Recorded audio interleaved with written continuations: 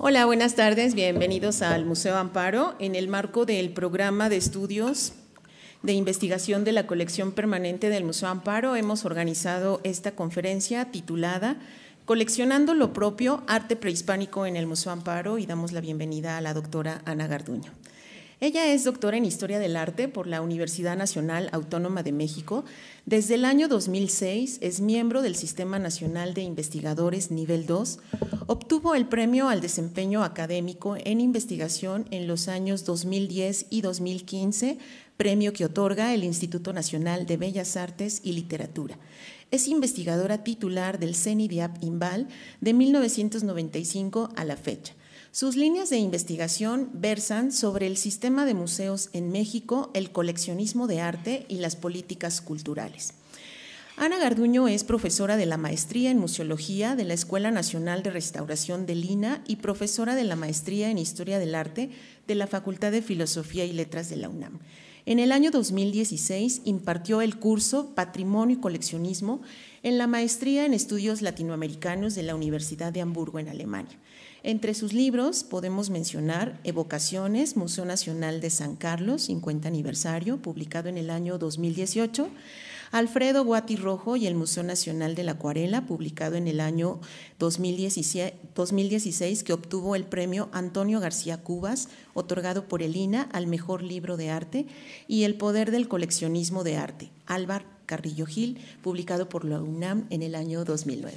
Ana, bienvenida, muchas gracias por estar aquí. Pues damos inicio a esta conferencia, que la disfruten. Agradezco al Museo Amparo porque me invitan a trabajar esta colección. En realidad esta es la primera vez que voy a presentar esta investigación. Es un trabajo que hice a lo largo del año pasado. Estuvimos trabajando el acervo de la colección prehispánica. Como ustedes saben, el museo fue sometido a un proceso de reconfiguración y me encargaron hacer la investigación sobre el pasado y el presente del museo. Entonces, si les parece bien, empezamos. Por supuesto, si tienen, ah, ya, si tienen preguntas o dudas o comentarios, por supuesto que lo vamos haciendo un poco más dinámico. La idea un poco es que eh, encontrar ideas básicas, ideas centrales alrededor del acervo.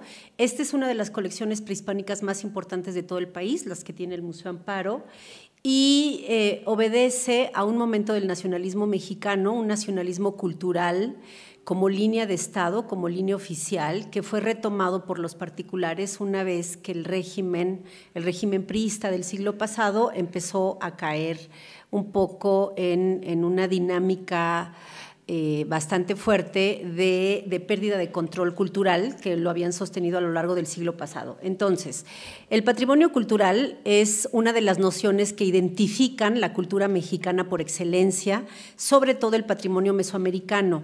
Eh, no hay nada más ranqueado, digamos, más eh, prestigiado, reconocido en México que el acervo patrimonial prehispánico.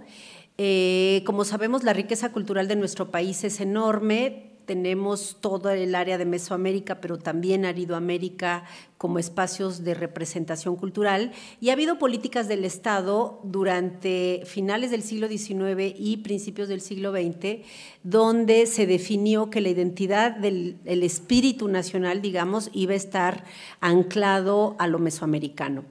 ¿Qué pasa con eso? Que eh, se decidió de una manera política, todos son decisiones políticas, todos son construcciones de alguna manera artificiales, digamos, la verdad histórica no existe como tal, sino son estrategias, son políticas, son declaratorias estatales que van permeando toda la estructura jerárquica de eh, las, las, instituciones estatales. Por supuesto, la Secretaría de Educación Pública en 1921 se fundó y a partir de ahí se hizo una política de Estado para educar a todos los mexicanos, aunque estuvieran en escuelas privadas, sobre nociones básicas de identidad. ¿Cuál fue esta decisión? Que lo prehispánico es el origen de la cultura mexicana. En términos históricos no es cierto, porque existía Mesoamérica antes de que existiera el país México, entonces eran, digamos, como todos sabemos, ciudades-estado que tenían cada uno su identidad, su religión, su cultura, sus tradiciones, etcétera, y lo que en realidad había eran ciudades-estado conflictuadas unas con otras. La política mexicana del siglo XIX decidió que Mesoamérica y Aridoamérica eran parte de la cultura mexicana y que ese es el origen. En realidad, en términos jurídicos, el origen de México está con la llegada de los españoles y la conquista de México Tenochtitlan en 1521, cuando se funda el país como tal, de la Nueva España, ¿no? Con una frontera, con una religión, con una, con una lengua oficial, etcétera. Ahí está la fundación, digamos, en términos jurídicos de la nación mexicana, pero identitariamente está en la cultura anterior, que es la mesoamericana, fundamentalmente.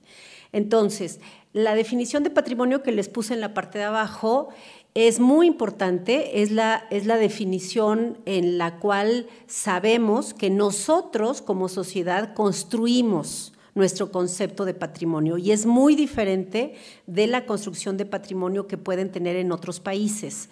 En el caso mexicano, nosotros como sociedad le hemos adjudicado un valor excepcional a lo prehispánico. Estamos convencidos, todos, me parece, todos los mexicanos, que la riqueza mesoamericana, tanto artística como arqueológica o antropológica, son las que nos han dado identidad y nos constituyen como nación. Entonces, el, tema acá es que es más fácil para nosotros identificar como patrimonial lo objetual, lo que es un objeto, lo que tiene materia, que lo que no lo tiene. Nos ha costado mucho trabajo identidad del patrimonio inmaterial, las costumbres, las tradiciones, que los objetos, sean o objetos eh, de bienes culturales muebles o inmuebles. En ese sentido, nuestras leyes que no se han actualizado, nuestras leyes patrimoniales, todavía están basadas en el objeto y en este sentido es que es lo que más hemos rescatado. Eh, el Estado mexicano controló todo el siglo XIX desde la Guerra de Independencia, desde la consumación de la Guerra de Independencia en 1821 se decidió que eh, la nueva nación, México, ya no la Nueva España, sino México, tendría que tener un repositorio oficial, un templo del saber y del conocimiento donde estuviera concentrado, eran épocas concentradoras, donde estuviera concentrada la cultura mexicana. Y en 1825 se fundó el primer museo que tenía todo, antropología, historia, arqueología, el Museo Nacional. Se colocó primero en San Ildefonso, en unos salones de la universidad, y después se colocó a un lado del Palacio Nacional, en la calle de Moneda número 13, que es donde está ahora el Museo Nacional de las Culturas de las culturas del mundo. Y en ese espacio se configuró el antiguo Museo Nacional que estuvo allí hasta el año 63, 1963, donde salió para hacer el Museo de Antropología en el bosque de Chapultepec. Entonces, el Estado controlaba los museos. Si se dan cuenta, en 1821 se funda México como nación independiente y en 1825, solo cuatro años después, se crea el Museo Nacional. Era un requisito de cualquier país que tuviera un repositorio, un espacio, una institución, un recinto donde se concentrara la arqueología, la historia, la antropología de cada nación. En este sentido, el Estado tuvo todo el siglo XIX y todo el siglo XX, o por lo menos hasta mediados del siglo XX, tuvo el control de los museos. En cada estado del, país eh, se esperaba que el Instituto Nacional de Antropología e Historia, fundado en 1939, tuviera su propio museo. El INA no pudo tener todos los museos de todo el país, así que cada gobierno del estado, de los estados, hizo su propio museo regional o su museo estatal, donde se concentraba la historia local, la historia regional hasta cuando el, el, régimen posrevolucionario empieza a caer en decadencia política e ideológica y por supuesto económica, es cuando empiezan a proliferar los museos eh, privados. Los, particulares habían estado marginados de la historia de los museos, prácticamente marginados. Ustedes tienen un caso muy importante, el del Museo Bello de 1944, el primer Museo Bello. Eh, ese para mí es, es, un caso paradigmático en la historia de los museos en México porque la familia Bello entregó al gobierno del Estado de Puebla la colección de la familia, entregó el espacio y se hizo el museo, pero a nombre del Estado, del gobierno del Estado. El segundo Museo Bello de los años 70 y 80, ya la familia decidió mantenerlo como una colección privada y hasta la fecha es una fundación particular. De esta manera queda muy claro que en la primera mitad del siglo XX solo la única opción que tenían los particulares para crear un museo que llevara su nombre o que lo perdiera, porque la mayoría de las colecciones perdieron el nombre de quien formó el acervo, en ese sentido la primera mitad del siglo XX se incorporaban a los gobiernos de los estados o al gobierno federal. A partir de la segunda mitad, es cuando empiezan a nacer, a surgir los museos particulares, porque hay una ruptura del pacto entre particulares y Estado. La clase política mexicana había pactado con la élite económica, con la clase empresarial, había pactado que el asunto cultural era un asunto del Estado. Era un gobierno, el gobierno era el que se tenía que hacer cargo de la cultura y los particulares lo que hacían era entregar sus acervos, como el caso del primer Museo Bello, o entregar patrocinios o entregar algunas piezas en donación, etcétera. Pero el que se encargaba de administrar los asuntos culturales y museales era el Estado.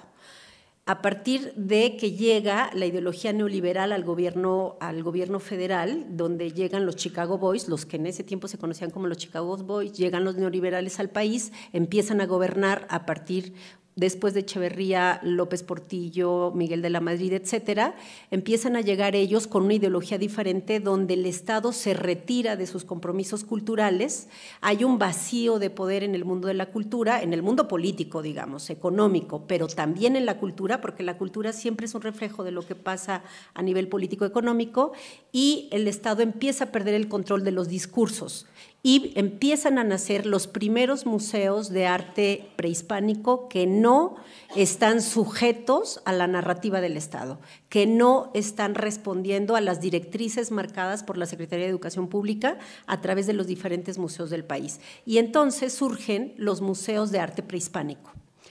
¿Qué pasaba con el Museo Nacional? Eh, y el Museo de Antropología, de hecho, es que las piezas prehispánicas están allí como objetos antropológicos, arqueológicos, con objetos etnográficos, pero no como obras de arte. El Estado decidió que lo prehispánico como obra de arte, el objeto solo en sí mismo, no tenía ningún valor, sino a partir de la mirada contextual.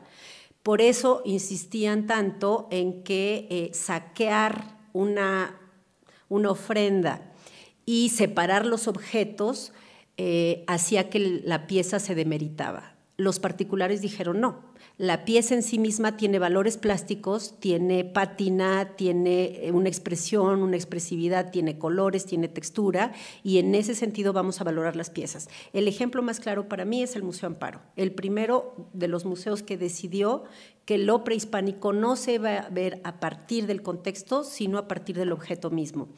Si se fijan, en el Museo de Antropología, si leen las cédulas, o aquí en los museos de acá donde tienen piezas mesoamericanas, si leen las cédulas se habla mucho del contexto, la cultura que hizo esa pieza, en qué periodo se, excavó, si es que se sabe, etcétera. Pero del objeto mismo no hay análisis, no hay interpretación, no hay una valoración en términos de crítica de arte y eso eh, ha marginado mucho a los historiadores del arte que en los museos de Estado no han tenido una cabida. Aquí en el Museo Amparo, desde que se fundó en 1991, sí la tuvo. Entonces, a partir de la segunda mitad del siglo XX, el Estado empieza a perder el control de los discursos sobre lo prehispánico y empieza a ver una mirada que ya es diferente, por lo menos es diferente. El, primer museo dedicado a lo mesoamericano es este, el Museo Amparo, en la ciudad de Puebla. Este es el vestíbulo como estaba en 1991. En el, libro que va a salir, espero que a mediados de este año, sobre eh, la colección Amparo, hago un análisis de, toda la, eh, la, iconografía política, digamos, que hay en el museo. Y eh, estoy convencida que hay una estética neoindigenista, eh, neomexicanista, que estaba muy de moda en los 90, una corriente artística que es el neomexicanismo, que tiene mucho que ver con lo que estaba de moda en Estados Unidos y el arte chicano. Y hay, una, hay un encargo al nieto de Rivera de hacer un mural que ahorita está en bodega, Está esto que ya es conocido, muy nacionalistamente está la bandera de México, el logotipo del museo, la placa de inicio de la colección y el retrato de la señora Amparo. ¿Qué pasa con esto? La Fundación Amparo no es la primera no es la primera colección ni la única que lleve el nombre de la esposa de quien creó la fundación. ¿no? Tenemos al Museo Sumaya, por ejemplo, la Fundación Sumaya, que también es el nombre de la esposa de Carlos Slim, que también murió tempranamente igual que la señora Amparo Ru García. Es muy común, los particulares pueden poner el nombre de su fundación a quien quieran. Generalmente es la esposa, el nombre de la esposa el que lo lleva, pero digamos que hay varios casos donde se pone, ahorita por ejemplo la, Fundación Slim ya se llama Carlos Slim, se llamaba Fundación Carso, ahora se llama Carlos Slim.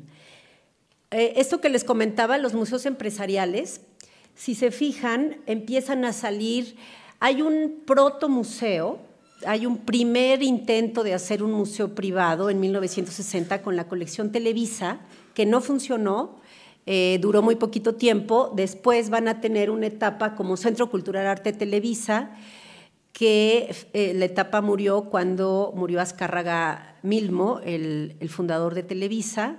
Cuando llega la siguiente generación, cierran el Centro Cultural de Televisa. Y los museos privados son esto. Empiezan en Monterrey, porque siempre donde hay dinero hay colecciones privadas. Generalmente es una lógica de la modernidad tardía.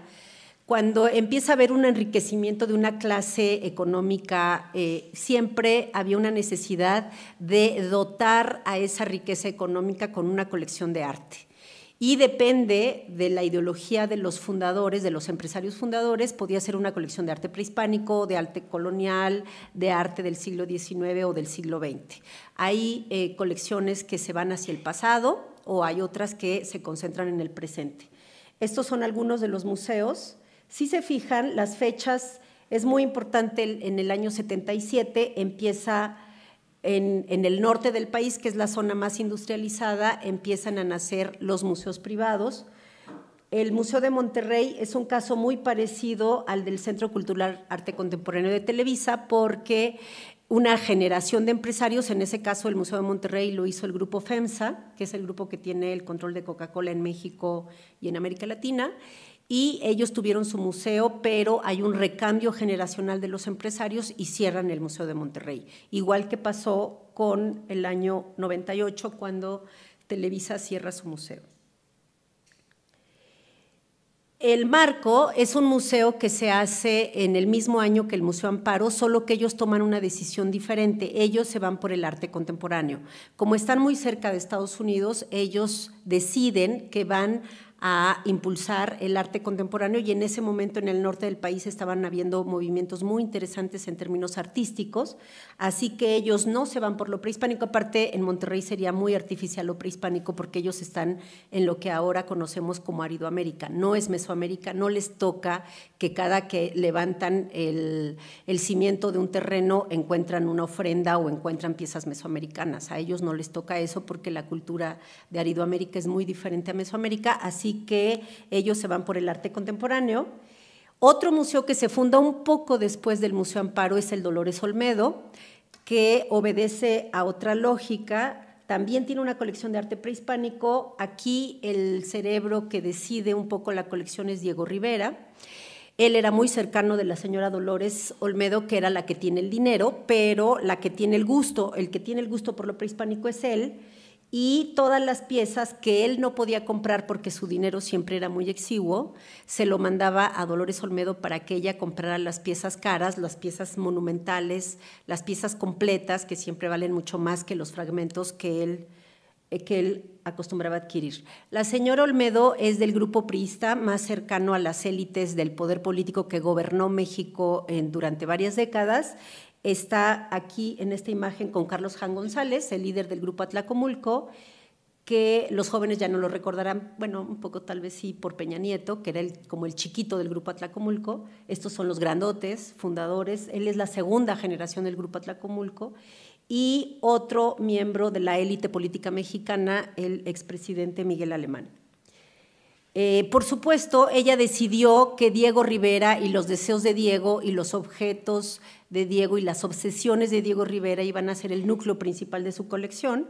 Entonces, aquí está la colección de ella, esto, que también podía haber sido la de él, porque las piezas son compatibles, digamos. Lo que él no podía comprar lo compraba ella y etcétera. Eh, ella decidió hacer su casa museo. En los noventas estaba muy de moda las casas museo, que tu propia casa fuera en algún momento abierta al público, que no se moviera mucho la museografía.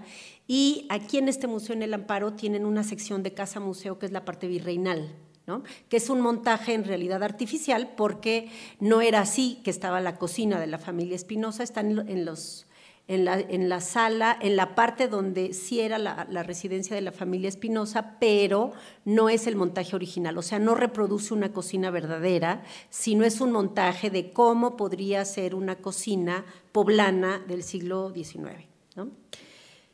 Eh, pero bueno, es una moda, es una estética muy importante en los 90, la de la casa museo, que todavía hay varias.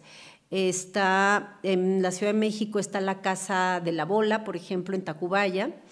Eh, y hay varias que son así, están recreando la casa del coleccionista. Esta era como la vivía, todavía con los libros de Dolores Olmedo y los cuadros de la colección de Dolores Olmedo de arte, sobre todo moderno, con la figura importantísima de Diego Rivera como creador y la colección de arte prehispánico conviviendo.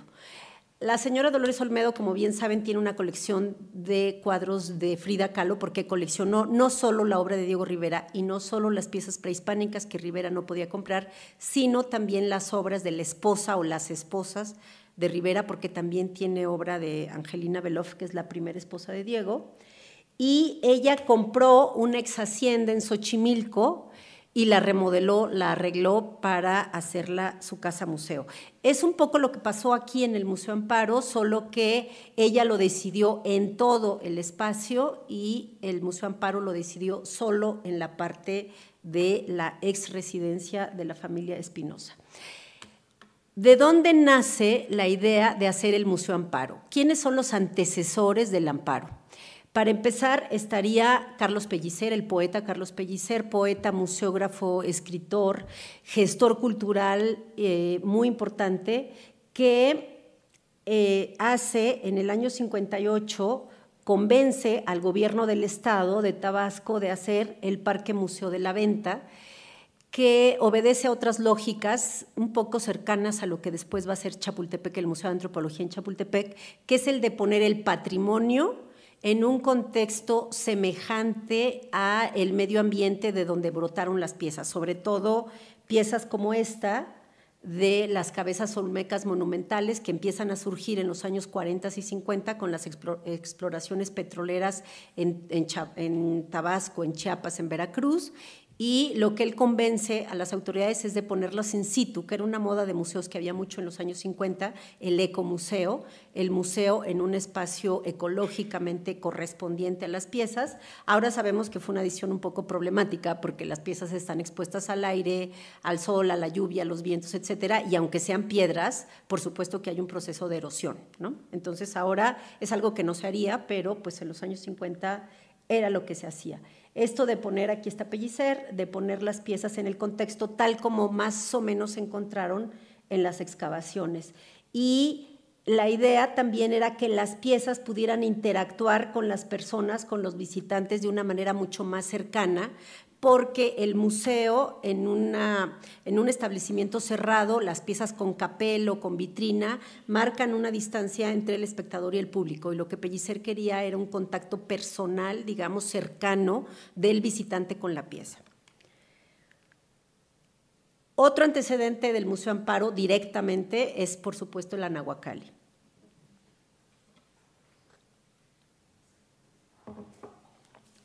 Es un automonumento, yo creo que es un túmulo funerario, es la, tumba del faraón Diego Rivera, eh, donde en la parte central, como si han visto las pirámides eh, en Egipto, en la parte central está el, el taller del artista Y por supuesto, yo creo que ahí él esperaba estar sus cenizas, ¿no? Creo que ahí esperaba que estuviera el cuerpo del emperador, o por lo menos las cenizas del emperador, que estuvieran colocadas en la parte central de su automonumento. Hay un colega suizo que hizo un estudio que se va a publicar ahora en París, donde analiza la forma de la Nahuacali y él dice que le parece mucho a la Tlaloca que está fuera del Museo de Antropología, que está sobre la Avenida Reforma, que antes decían que era Tlaloc y ahora sabemos que es niña.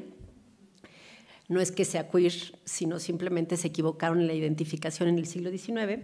Y él, y él ve la forma y piensa que Rivera se inspiró un poco en la forma de esa Tlaloca para hacer esta pieza habrá que ver el estudio, yo solo conozco algunos bocetos, no estoy segura que, sea, que esté de acuerdo con él, pero bueno, por lo menos es una investigación novedosa. En el museo,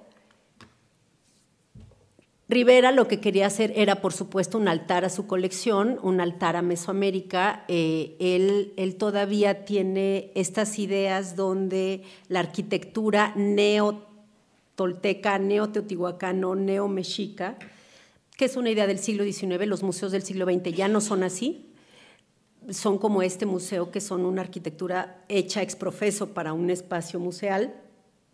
Pero lo que Rivera sí quería, igual que quería Pellicer, era que las piezas estuvieran muy cercanas con el visitante. Hace a propósito, si conocen el Anahuacalli, cuartos muy pequeños, muy cerrados, donde tienes que estar cerca de la pieza para poderla ver. Y el recorrido entonces es íntimo, es cercano, es para provocar la reflexión personal con la pieza, para una interactuación mucho más cercana. No es la monumentalidad del museo, del museo de Antropología, que está hecho para pantallar, digamos, es un museo muy presumido, ¿no? que está hecho para convencernos de la majestuosidad de lo mesoamericano, pero no motiva a la reflexión personal e íntima. Es muy difícil. Aparte, está siempre lleno de grupos, los espacios de circulación son tan grandes que difícilmente te puedes concentrar y tener una experiencia cercana con la pieza, a menos que vayas a horas donde no haya mucho flujo de visitantes. Les puse esto que me parece muy interesante, una cita de lo que dice la primera, la segunda esposa de Diego Rivera, Guadalupe Marín, donde eh, habla, muy enojada, por supuesto, de cómo eh, su esposo gastaba todo su dinero en la colección de arte mesoamericano, la dejaba sin comer y hay muchas escenas donde ella narra que, le decía a Rivera, ¿qué vamos a comer hoy? Ella decía tepalcates, ¿no? Y le aventaba las piezas porque no había dinero para la comida, pero sí había dinero para comprar piezas. Entonces, esto me parece muy interesante del acercamiento de un artista. Dice, el artista no está viendo al, cielo, no está viendo la arquitectura. A Rivera no le interesaban las pirámides, ni las teotihuacanas, ni nada. Él estaba viendo el suelo y el subsuelo. Y su cercanía con las piezas es, las recoge como si fueran tesoros, o sea, hay una valoración del objeto por el objeto mismo, los ve, los huele y hasta los prueba. Y yo me imagino perfectamente a Rivera, ¿no? Dándole este, la probadita ¿no? a las piezas, es una, está usando la vista, el tacto, ¿no? al gusto, está teniendo una cercanía con la pieza súper íntima y personal, que por supuesto es un acercamiento de artista. ¿no? ¿Quiénes se inspiran en la colección de Diego Rivera y en la manera de coleccionar de Diego Rivera? Los que compraron el lote fundacional de la colección del Museo Amparo. Este es el montaje, si se dan cuenta es un montaje que recrea, esto es un templo, este es un altar, ¿no? Un altar a la devoción laica por lo prehispánico, pero al final de cuentas es un altar, ¿no? De eh, la religión laica del Estado es lo patrimonial y en ese sentido Diego Rivera sí incorpora ideas estatales, sí incorpora ideas oficiales de lo patrimonial y si hace un templo, un altar, esto podría ser un altar barroco, si se lo imaginan, un altar barroco de cualquier iglesia poblana, ¿no? Donde están los santos ahí para la devoción del público, igual acá están las piezas mesoamericanas, por eso digo, es un altar laico para la religión del Estado, que es eh, la riqueza patrimonial mexicana. También recrea este estilo, es un estilo en la museografía, es la historia de la museografía, el recrear las ofrendas, ¿no? Todavía hacen, por supuesto, una ofrenda artificial, ¿no? Con este tipo de decoración eh, dentro del museo. Como saben, el museo era un terreno baldío y Diego Rivera lo construyó junto con un arquitecto, con su amigo arquitecto, esto, hicieron el rescate del terreno rocoso y decidieron esa arquitectura.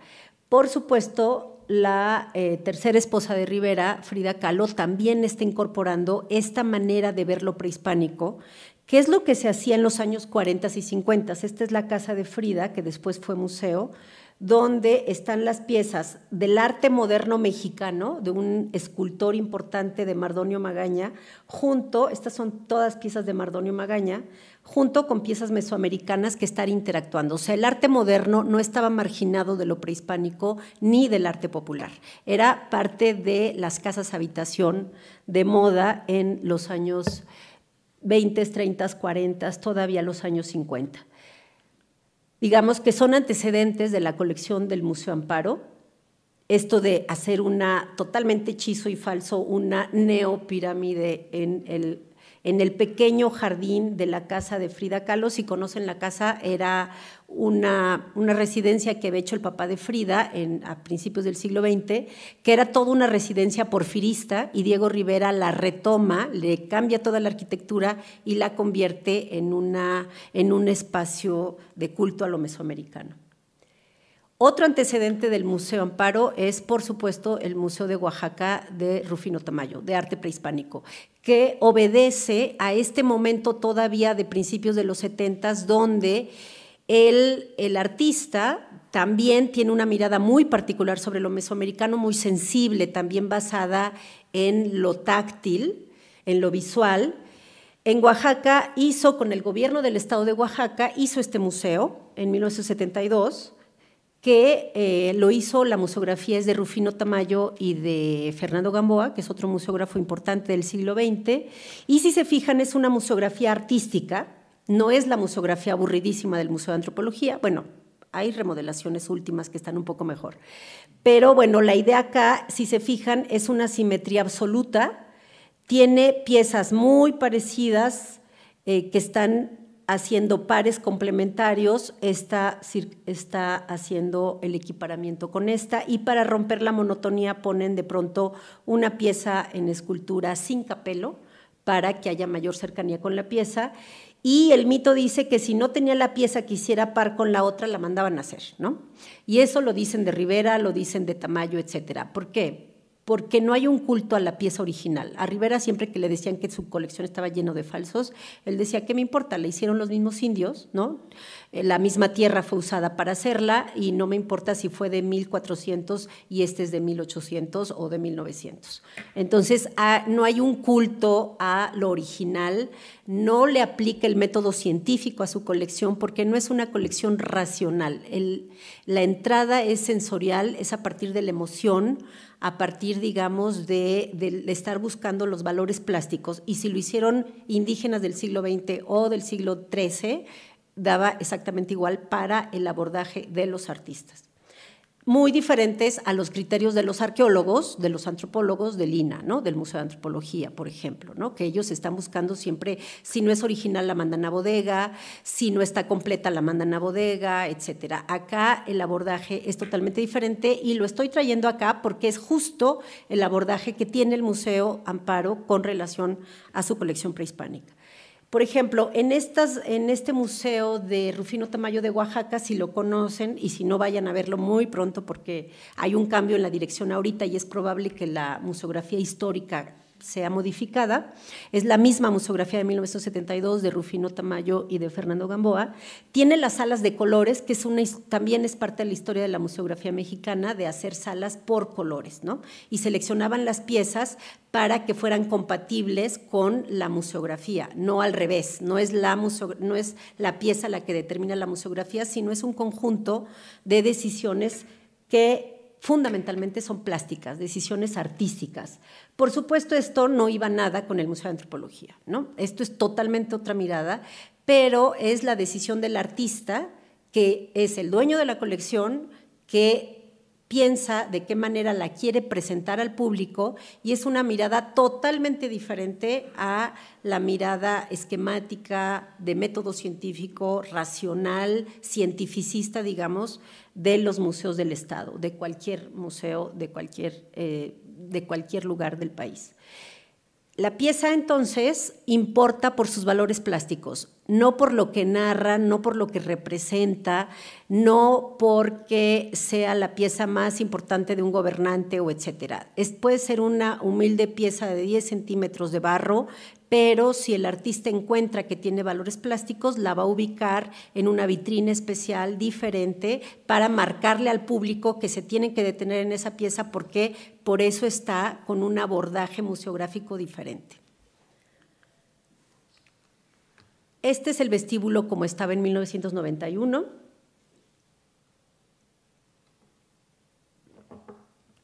Esto es lo que yo he llamado un estilo neomexicanista en donde está en primer plano el mural del, nieto de Rivera, que ya no está exhibido, esta parte de arriba que también tiene eh, una decoración de murales, de murales mesoamericanos, esto que viene de un libro de sellos que se editó en los años 40 por un artista e investigador de Lina, que eh, encontró los sellos prehispánicos, hizo un libro donde analiza los sellos prehispánicos y estos en madera se mandaron a hacer. En la parte de abajo está un mural del arquitecto que terminó el museo de Ramírez Vázquez, un mural que está ahorita en las salas mesoamericanas, eh, que tiene, eh, son de cráneos de, vidrio, y uno de los poemas atribuidos a Nezahualcóyotl, como el, el arquitecto que hizo que terminó el Museo Amparo es Ramírez Vázquez, que es el mismo que hizo el Museo de Antropología. Unos años antes, en el 64, se inaugura el Museo de Antropología. Este es un museo de 91, pero es el mismo arquitecto. Retoma elementos del Museo de Antropología y los pone en el Museo Amparo. Por ejemplo, estas eh, frases de, atribuidas a Nezahualcóyotl que están hechas con una traducción del padre Ángel María Garibay o de Miguel León Portilla, que era muy cercano a Ramírez Vázquez, y que son unas traducciones libres, muy libres eh, y muy poéticas, ¿no? que todos conocemos. En Puebla, el museo más visitado es el Museo Amparo. Eh, me puse a buscar estadísticas de visitantes en todos los museos del estado y la única que le gana, pero con años luz de diferencia, es por supuesto Cholula, ¿no? Es el culto a la ruina, el culto al pasado, a un pasado monumental y aparte es muy nostálgico y muy romántico el tema de la ruina prehispánica está abajo para dar nacimiento al futuro o en ese momento el futuro que era lo, lo colonial, etcétera. Hay toda una explicación muy interesante, que por lo menos a mí me resulta muy interesante, de por qué Cholula es lo más visitado del estado de Puebla, por locales y por, por nacionales, visitantes nacionales y visitantes extranjeros. ¿no? Este, se lleva con calle a muchos otros lugares en diferentes estados del país. Ya no publiqué todas estas estadísticas porque era muchísima información. En el libro del Museo Amparo que se publicará dentro de unos meses hay algún tipo de información al respecto. Pero bueno, para mí, por supuesto, nos nutre algo que a los mexicanos nos gusta muchísimo, que es el tema de la nostalgia colectiva. ¿no? Ahí, ahora, en la historia del arte, hay muchas teorías sobre el afecto, eh, que analizan cómo nos enfrentamos, desde dónde nos enfrentamos al objeto artístico eh, desde los afectos, desde las carencias, desde las necesidades, desde los deseos, desde, desde nuestras vivencias, por supuesto, soy yo el que se acerca a la pieza, no es la pieza la que me aborda a mí, sino soy yo desde mis circunstancias la que está observando el objeto. Entonces, hay muchas teorías sobre el afecto y justo de ahí tomé un poco para analizar por qué la zona arqueológica de Cholula eh, tiene mucho más visitantes que cualquier otro museo en el estado y Claro, dentro de los museos del Estado, el Museo Amparo, como tiene una oferta múltiple, tiene prehispánico, tiene virreinal 19, tiene 20, 21, tiene arte contemporáneo, y nos está obligando el Museo Amparo a los del Distrito Federal, por ejemplo, a los de Guadalajara, a los de Monterrey, a los de Tijuana, a venir a ver los montajes de arte contemporáneo del Museo Amparo, que son igual de importantes que el MOAC, igual de importantes que el Museo Rufino Tamayo de la Ciudad de México o que lo que pasa en todos los diferentes museos del, país. Entonces, claro, con este mensaje multifactorial hace que el Museo Amparo sea uno de los más visitados en todo el país. Estuve revisando, por ejemplo, las estadísticas de montajes del Museo Amparo con al MUAC y están igualitos. O sea, la misma cantidad de exposiciones que hace al año el MOAC los hace el Amparo. La diferencia es la cantidad de visitantes. Obviamente el MOAC tiene muchísimos más visitantes por exposiciones que el Amparo, que solamente es prácticamente un museo regional, un museo estatal. Sí hay gente que viene cuando visita la ciudad de, cuando visita la ciudad de Puebla, visita el Amparo, la mayoría de los visitantes visitan el Amparo, sobre todo por la colección prehispánica. Los visitantes internacionales y nacionales no vienen buscando el arte contemporáneo, solo los especialistas, el público de arte contemporáneo que es muy grande en la Ciudad de México, sí viene al Amparo a ver arte contemporáneo, pero los nacionales y los internacionales vienen sobre todo buscando la colección prehispánica. ¿Qué es lo que encuentran? El amparo tiene una protoetapa. En, el año 87 empezaron los trabajos de remodelación del espacio para hacer el museo y el acervo fundacional viene de la colección de Josué Sáenz y Jacqueline Larralde de Sáenz. Ellos son los coleccionistas compraron el lote más importante. La señora, para mí la señora, no es, no es una colección estudiada, eh, el acervo fundacional no está estudiado como tal.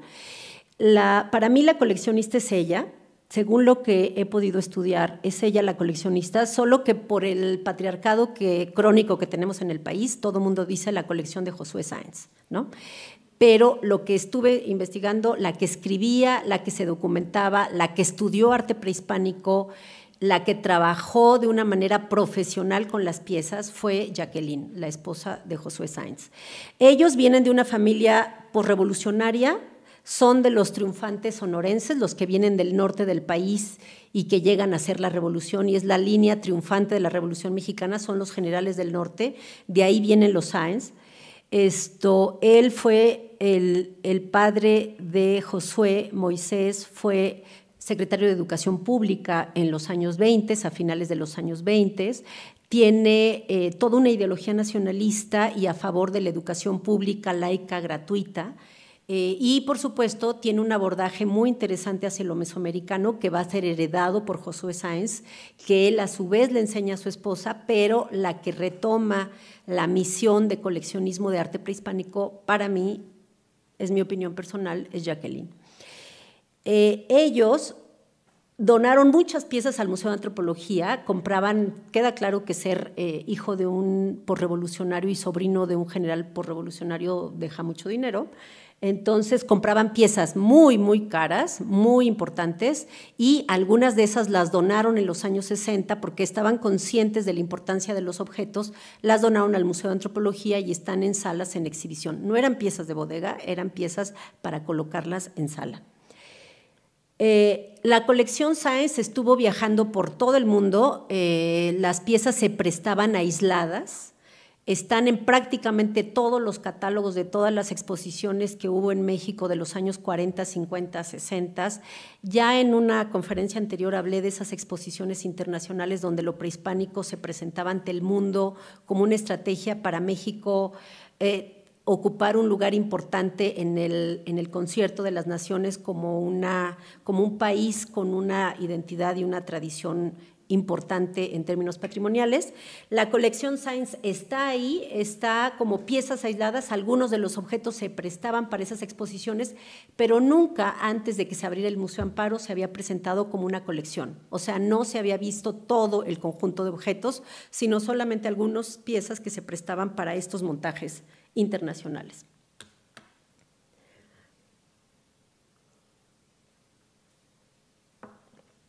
Esta es una declaración de Álvaro Carrillo Gil, un señor al que le dediqué 10 años de mi vida porque estuve haciendo mi tesis de doctorado durante 10 años.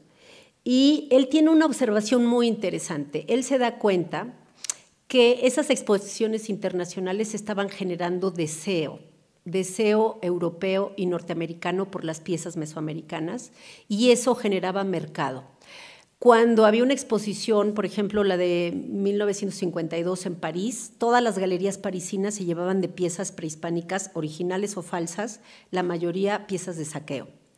Siempre que había una exposición importante en Nueva York, también las galerías neoyorquinas se llenaban de piezas mesoamericanas procedentes del saqueo. Entonces hay una relación entre las excavaciones oficiales que hace el Estado mexicano para una exposición internacional y las excavaciones ilegales que hace el mercado clandestino para proveer a los visitantes de esas exposiciones que salen del museo buscando no el souvenir que nosotros compramos en la tienda, sino buscando piezas originales y que tienen el dinero para poder comprarlas.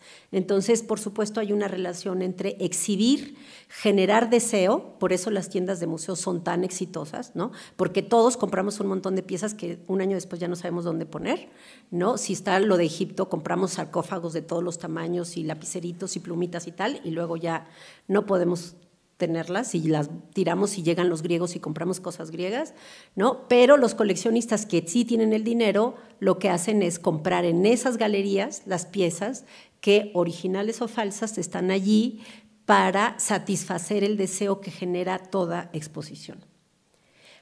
¿Por qué afuera? Porque el precio de las, de las piezas, en ese tiempo, hasta el año 70, 68, 70, las piezas se pueden comercializar legítimamente en México solo para consumo interno.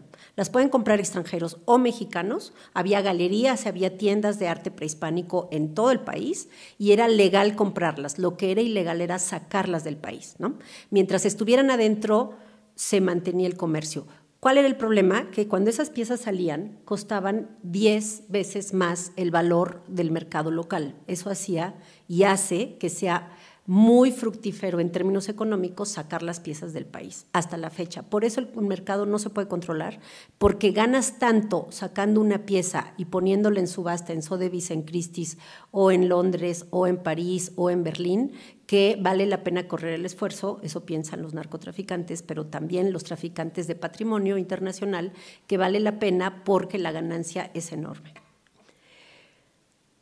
Esta es una declaración de la señora Jacqueline, ella, cuando era muy joven y recién casada, empezó a seguir a Diego Rivera, a Covarrubias, al pintor Miguel Covarrubias, que es un importante coleccionista de arte prehispánico también. En ese tiempo estaban excavando en Tlatilco porque había unas ladrilleras y estaban saliendo todas las piezas de Tlatilco de arte preclásico que conocemos y que están ahora en todos los museos.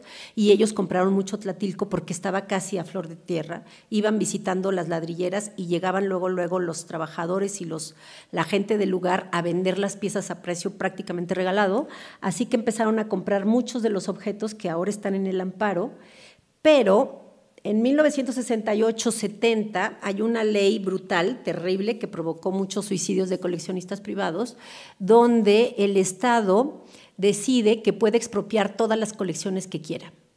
Es una ley de Echeverría terrible, terrible. Salieron muchas colecciones ilegalmente del país porque obviamente los coleccionistas no querían que el Estado decidiera que una colección importante que no habían comprado, que no habían ellos reunido, de pronto decidiera que era interés del Estado tenerla y se las confiscara. Así que por eso en México no tenemos, por ejemplo, colección de arte europeo, porque todas las colecciones salieron en ese momento de la ley del 68. Fue tan fuerte la ley que en 70 se derribó y en 72 llegó otra donde ya el Estado no podía apropiarse de colecciones privadas. Porque aparte esa ley iba en contra del artículo primero, el derecho a la propiedad privada. ¿no? Si tú lo compras en mercado es tuyo y nadie te lo puede quitar. ¿no? Entonces, era una ley que estaba en mucho conflicto, es muy problemática, es una historia no contada. Uy, ¿qué hice? Algo hice. Este es la, el libro, uno de los libros que hizo Jacqueline Sáenz, donde ella, ellas obviamente está en contra de cómo han manejado el tema del coleccionismo en México, porque de pronto ellos se convirtieron en parias. Incluso Diego Rivera, cuando mostraba sus colecciones, hizo una exposición en el Museo del Palacio de Bellas Artes en los años 50 y hubo muchas críticas a Rivera por ser un saqueador, un coleccionista que estaba privatizando el patrimonio y la cultura, etcétera. Digamos que en 50 y 60 nadie se escapaba de ser mal visto por coleccionar arte prehispánico.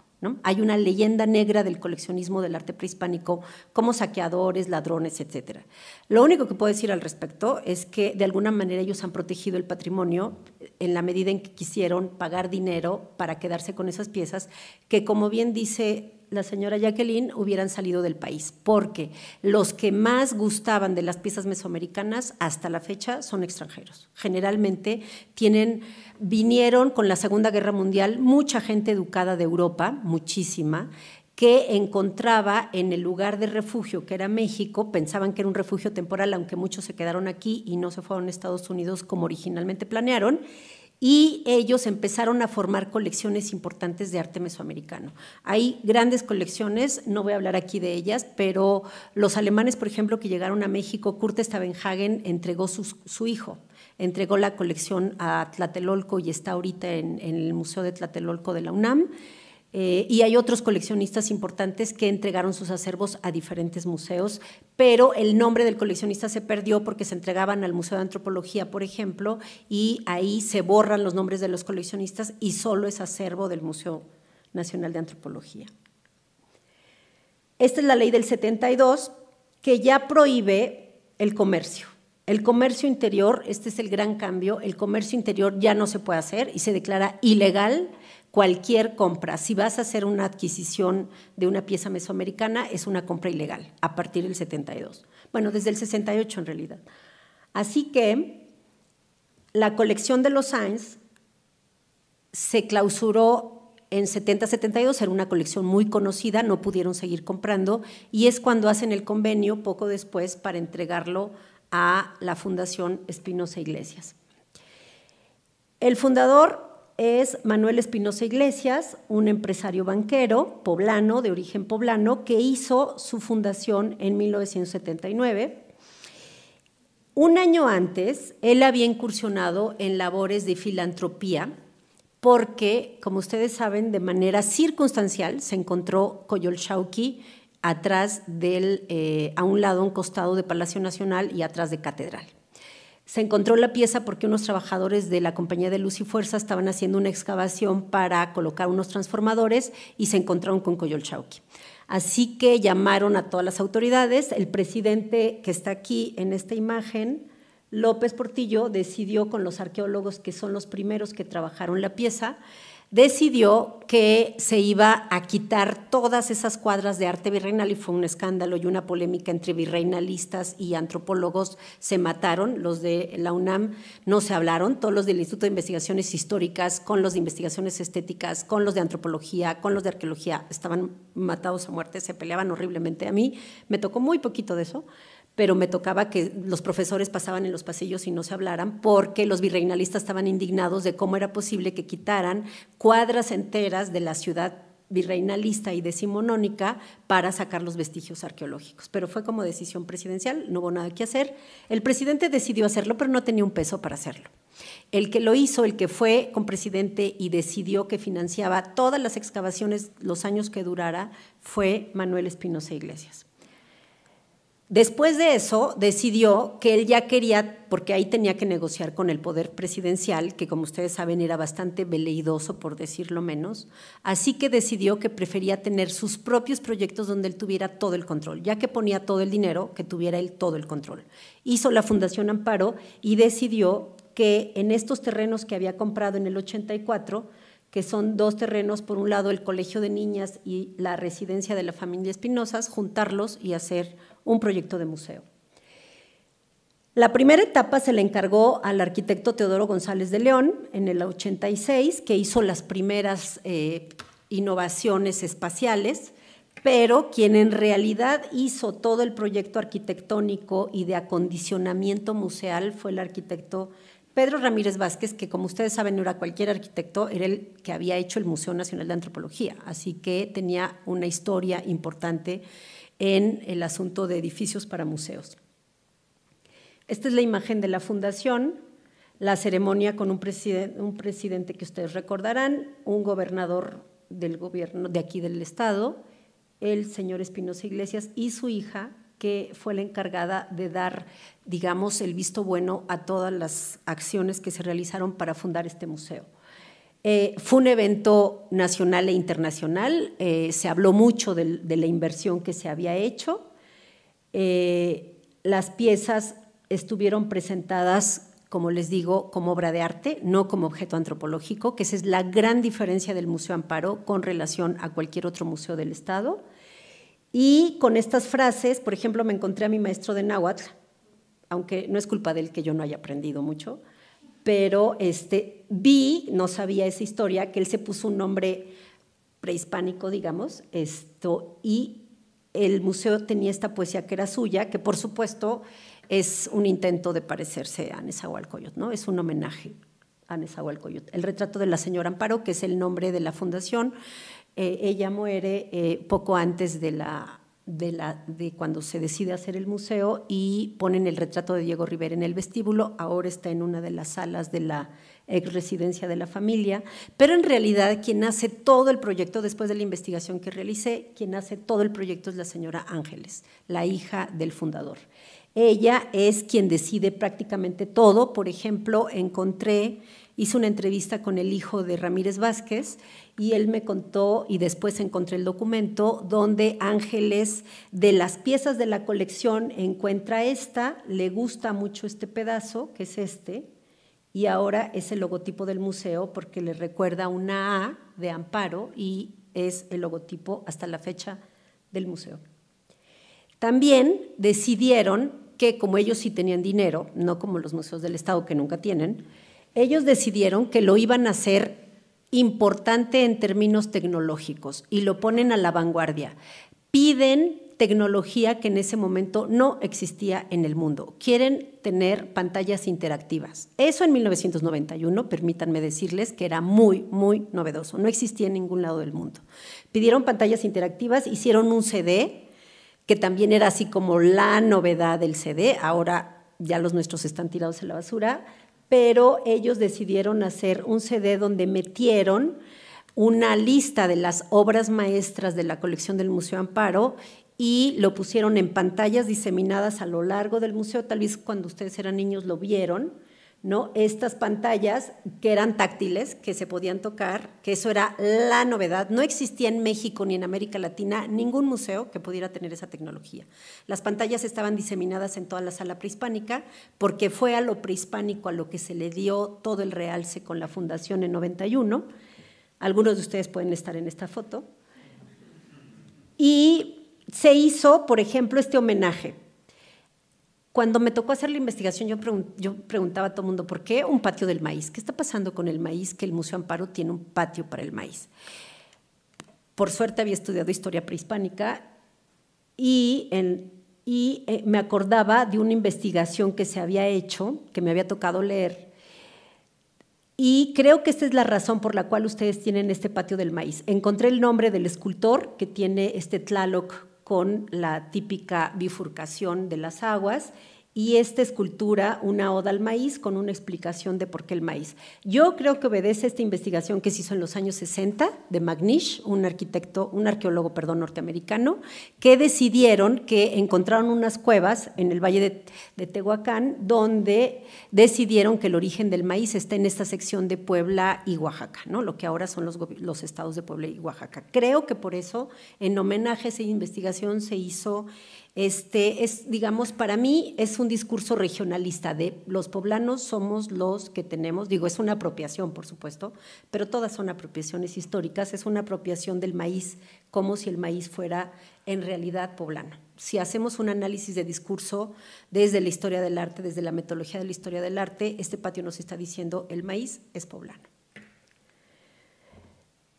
Esta es la disposición del primer museo, es una disposición muy interesante. Eh, la señora Jacqueline había hecho un convenio cuando entregó la colección para que se hiciera el museo y ella iba a hacer la curaduría de las salas, de todas las salas. Solo alcanzó a hacer tres salas, las primeras tres salas, y ella las pone con base en la historia del arte. Entonces pone ahí en la primera, en la planta baja se pone una sala de exposiciones temporales, se pone, por supuesto, la línea del tiempo que ahora fue remodelada. Hay tres salas de arte prehispánico y en el segundo piso hay ocho salas más.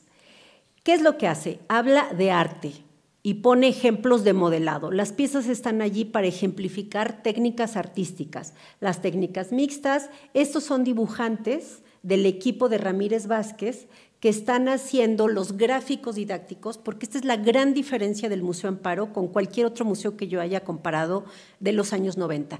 Tiene un enfoque didáctico. Hay una voluntad y una vocación de hacer que el Museo Amparo sea didáctico para todos los públicos. Y Si se fijan, están hablando de técnicas, el excavado y el esgrafiado, que son técnicas para trabajar el barro, por ejemplo. ¿no? Estas son algunas de las salas. Están explicando cómo se hace la decoración, la policromía, cómo se hace el trabajo con la cerámica y ponen algunos ejemplos pintado a negativo. O sea, estamos hablando de un discurso totalmente de historiador del arte, de cuáles son las técnicas de grabado en cerámica, en madera, en piedra, etcétera. Las piezas están allí para demostrar técnicas artísticas, solo las primeras tres salas. Después, ya las salas las hace el arquitecto Ramírez Vázquez y ya es el Museo de Antropología, ¿no? Ya es por etapa, por periodo, con colores interesantes, las vitrinas muy grandes, que ahora se cambiaron y se hicieron mucho más pequeñas, pero ya estamos volviendo a hablar de una historia cronológica por pueblos, por periodos preclásico, posclásico, ya es, digamos, la historia tradicional que se puede encontrar en cualquier museo de arqueología en el país pero las primeras tres salas eran muy interesantes. Sin embargo, el arquitecto no renuncia a meter estos murales con textura, que se usaba mucho la textura, incluso lo hacían todos los artistas. Rufino Tamayo tiene muchísimos cuadros donde pone arenitas de colores, etcétera, para estos, este tipo de trabajo, que esta es una pared que en términos museográficos podríamos decir que está desaprovechada, aparentemente, pero no. Eh, queda claro que está haciendo un contraste con el piso, ¿no? con las paredes, con los muros, son acentos de color, pero también de texturas para darle realce a los murales que están encargando a artistas de la época. En el segundo piso había, si ustedes lo recuerdan, algo que ya no se usa para absolutamente nada, que son las obras maestras, ¿no? Ese ranking de todas las piezas, pero luego un salón de los tesoros, ¿no? Como la cámara oculta de los museos del Vaticano, etcétera, eh, se usaba mucho estas de las 20 piezas más importantes de la colección y las tenían en una sala especial. Ahora que estamos en una política mucho más diplomática, mucho más horizontal, más democrática en los museos, ya por supuesto nadie haría una sala que fuera las obras maestras de nada, ¿no?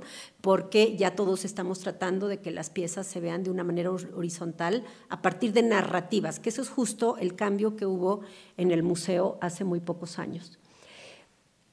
Por supuesto, venía todo mundo a ver la colección del Museo Amparo. Aquí está Carlos Fuentes, esta pieza que me gusta mucho, esta foto de Toledo, ya no era tan guapo como fue 20 años antes, pero todavía seguía siendo Toledo, ¿no? Y por supuesto, si yo me pongo a hacer un análisis desde la historia del arte, es el artista contemporáneo que está abrevando del arte prehispánico, ¿no? que está retomando formas y por supuesto es mucho más interesante que sea él el que está mirando la pieza detenidamente, claro, está posando para la imagen, pero esto, pero es, es, eh, es, una política de Estado y los artistas lo decían mucho, de Rufino Tamayo, todos hablaban, Diego Rivera, de me inspiro en el arte prehispánico para hacer arte contemporáneo, ¿no? que esa es una línea, es un concepto que se usa mucho, se usaba mucho en la modernidad tardía, que es el de la continuidad, la continuidad artística. Mesoamérica es el ejemplo artístico de el arte moderno mexicano. Es un concepto muy importante para la historia del arte y esta imagen la resume en sí misma. Luego estaban las salas de arte virreinal, que es un poco lo que todavía tenemos ahora, aunque ya lo están limpiando, porque sí estaba muy mixturizada el discurso, el display museográfico de tener piezas mesoamericanas, eh, piezas eh, eh, coloniales con piezas del siglo XIX, con piezas de principio del siglo XX, pero un poco la idea acá era la casa museo, eh, digamos, recrear, en este caso de manera artificial, en general casi todos son artificiales, pero bueno, recrear cómo es una cocina poblana y si se, se fijan, no han ido últimamente al museo, al museo Franz Mayer, también tienen una cocina, tienen cómo sería un espacio museal que recrear una sala virreinal. Por ejemplo, tienen salas este, virreinales con cuadros virreinales y tienen algunos muebles del siglo XVI o que parecen del siglo XVI, etc. Estas recreaciones son muy didácticas, los niños la agradecen muchísimo, son lo que más recuerdan en las estadísticas de públicos de visitantes, lo que más recuerdan siempre es este tipo de recreaciones. Sobre todo las cocinas eh, las recuerdan mucho los niños porque para ellos es un lenguaje que pueden entender y y pueden identificarse con ellos. Es mucho más familiar. Recuerden que los visitantes siempre somos nosotros los que vemos las piezas a partir de nuestra experiencia y es muy difícil que un niño mexicano no conozca una cocina, ¿no? Sobre todo una cocina que es tan diferente a la suya que por eso la recuerda. En 2010-2015 se hizo la reconfiguración del museo. La regla dice, la teoría museográfica y museológica dice que cada 10 años se debe de cambiar el display museográfico. ¿Por qué? Porque cada generación tiene que hacer su propia lectura de sus bienes patrimoniales. Si ustedes han trabajado en museos, saben que eso es carísimo. Son millones y millones de pesos. Ningún museo del Estado los tiene. El Museo de Antropología se fundó en el 64 y hacia el año 2000 empezaron a remodelar las salas. O sea, fueron muchísimos años que estuvieron intocables. Y si han ido al Museo de Antropología últimamente, todavía están las cédulas originales, en algunos casos ya no, ya las están quitando todas, pero todavía faltaban letritas, ya, está, ya estaba bastante maltratado, porque en este país sí hay voluntad política para abrir un museo, pero nunca hay voluntad económica ni política para remodelarlo y reconfigurarlo. Solo la iniciativa privada lo hace en el caso del Museo Amparo también tardaron un rato, pero ya lo hicieron. Empezaron en 2010 y como no tienen prisa, igual que cuando hicieron el museo, que empezaron en los 80 y terminaron en 91, porque esa es la gran ventaja de los particulares. Tienen dinero para hacerlo y tienen el tiempo para hacerlo. Ellos no tienen que inventarse un museo en dos años para que el gobernador inaugure o el presidente inaugure, que eso es algo que pasa. En antropología pasa, el Museo de Antropología lo decidió en 62 lo decidió López este, Paseos, le decían López Mateos. Lo decidió López Mateos en 62 y el museo tenía que inaugurarse en 64. Se inaugura en julio del 64 porque en diciembre, el primero de diciembre, entrega el poder al siguiente presidente. Entonces, los tiempos políticos siempre están impactando, y ustedes lo saben con el Museo Barroco, siempre están impactando los tiempos de los museos. ¿no? En el caso de los particulares no tienen ese problema porque no son presidencias que cambien cada determinado momento, sino generalmente son vitalicias. Así que aquí se tardaron cinco años en remodelar el museo, contrataron a Enrique Norten, que hizo toda la reconfiguración, se generaron nuevos espacios, se ganaron muchos, ustedes conocen muy bien esta museografía, y se contrataron a dos especialistas. Rafael Ortega, que es artista, es artista visual, sobre todo está muy metido con audiovisuales, y el intelectual a cargo fue Pablo eh, Escalante Gonzalvo, que es un investigador del Instituto de Investigaciones Estéticas de la UNAM, y él es especialista en arte prehispánico, hicieron él hizo toda la reconfiguración curatorial, hizo la selección de piezas y decidió algo que ya lo había dicho un arquitecto hace mucho tiempo, menos es más. Esto es, hizo una selección mucho más rigurosa que la que se había hecho con Ramírez Vázquez y decidió meter menos piezas en sala, pero que se vieran mejor, que no estuvieran con el tradicional amontonamiento de los museos de antropología. Y esta es una frase, es, una cita textual de Pablo Escalante. Él empieza a hacer un análisis de la colección y como es historiador del arte también, no es arqueólogo, no es antropólogo, está en Instituto de Investigaciones Estéticas de la UNAM, él decide que va a ser, con base en los valores plásticos de las piezas, va a hacer el display museográfico y hace una curatoría muy libre, muy diferente. Estos son los títulos de las salas donde no están las piezas ni por su cronología, ni por eh, la historia que nos puedan narrar de qué cultura vienen, en qué momento fueron encontrados, etcétera, sino a través de conceptos, a través de ideas. Y habla, por ejemplo, cuerpos, rostros y personas, y él está hablando de lo que podemos aprender de esas piezas. Por supuesto, es una mirada dirigida. Quiere decir, el curador decide que esa pieza va a servir para ilustrar un concepto relacionado con el uso del cuerpo o las funciones del cuerpo. Pero esa misma pieza podría servir para la muerte, por ejemplo, o podría servir para el mundo religioso. Solamente que es la mirada del curador la que decide cómo la va a presentar para que nosotros decidamos si es así o no. Y hay algunas salas, algunas piezas que yo digo, ¿por qué puso esta pieza en este lado? No, todos podemos decir eso, por supuesto, y es parte del diálogo que el museo, el Museo Contemporáneo, espera de los visitantes, que no sea una mirada pasiva, que no sea una mirada sin reflexión, sino es una propuesta del museo y el visitante termina la reflexión al decidir que es correcto o que no. Y para eso están los libros de museos, los, los cuadernos de comentarios, para poder hacer cambios. Y hay algunas piezas que se van cambiando de acuerdo a lo que dicen los visitantes. Por supuesto, hay una recreación. El museo no renuncia a ser didáctico, que ese es uno de los grandes logros del Museo Amparo y la gran diferencia que yo encuentro de este museo con otros. La mayoría de los museos que se dedican al arte contemporáneo, como ustedes lo saben muy bien, son totalmente antididácticos. Ellos están esperando que el público sepa algo de arte para que entienda la pieza. En la sección prehispánica de este museo, no en, esta sección todavía hay un enfoque didáctico, esto de recrear murales, donde van metiendo pantallitas con videos, ¿no? Y cada uno de los videos tiene una explicación, las hizo Rafa, Rafa Ortega, donde van alternando las piezas. Si se fijan, esto para un museo de antropología es dejar el espacio vacío. Para este museo es, estoy enfatizando los valores de cada pieza y por eso no pongo a competir la pieza con otra.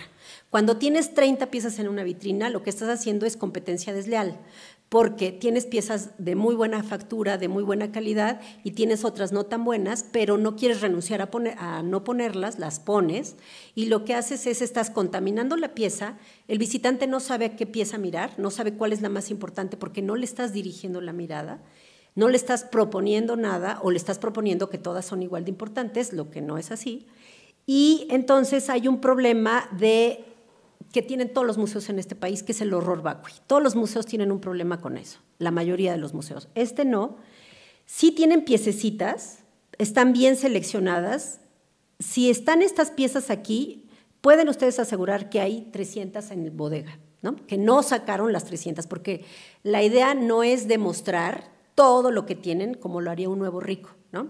de me pongo todos los aretes, todas las pulseras y todos los collares, entonces me hago 80 este, espacios acá para mostrar toda mi colección de aretes. No es la idea. Este no es un museo de Nuevo Rico, por lo menos no esta versión. La otra me parece que tampoco, ¿eh? La otra también estaba muy bien cuidada. El arquitecto supo muy bien lo que hacía Ramírez Vázquez.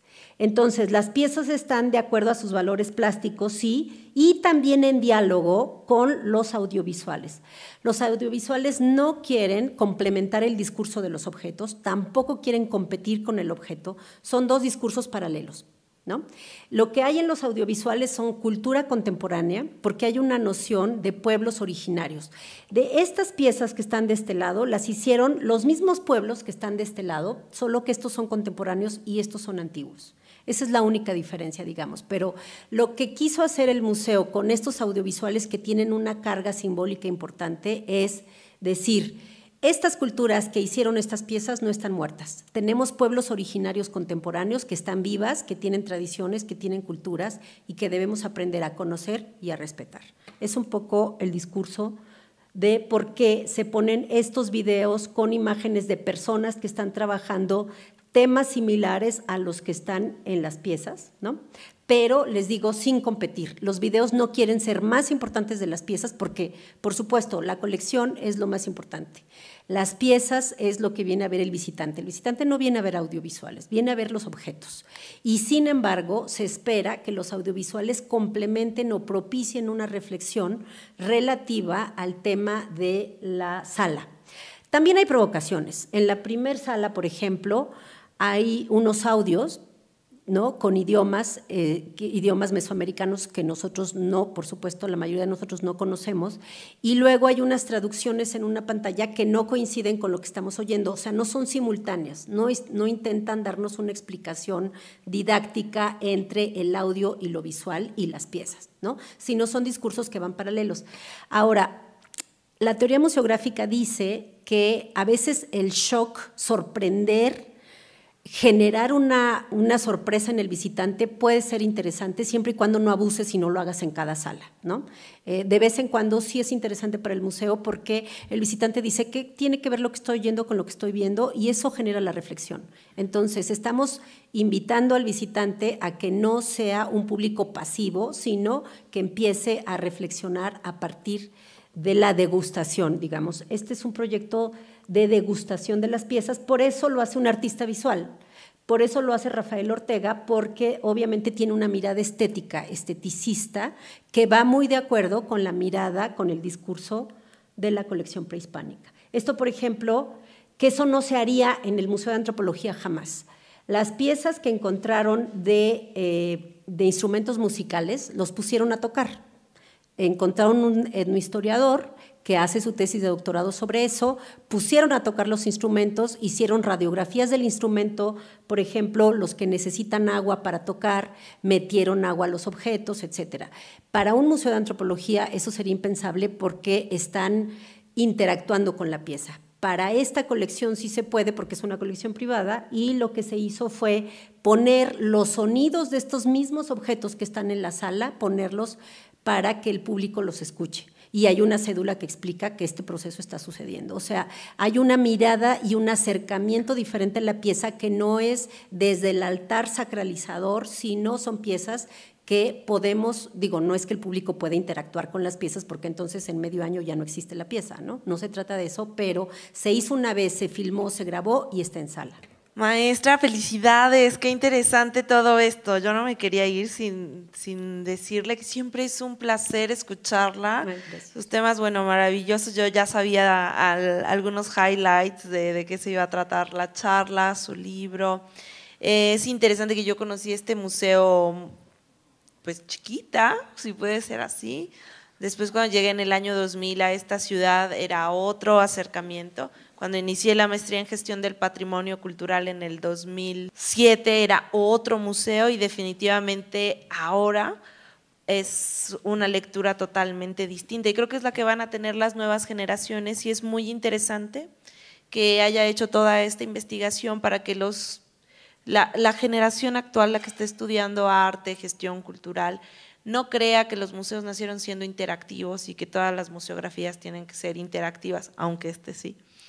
Pero um, últimamente yo como maestra de, eh, de, niños que nacieron en el año 2002, sí, o sea, es increíble, claro, o sea, yo les digo, ¿recuerdan la crisis del cuando cambiábamos de milenio y todo? No, maestra, yo nací en el 2002. Entonces, para ellos no, no hay una, una visión como, como la que tenemos estas generaciones de decir los museos se han transformado, las museografías son horizontales.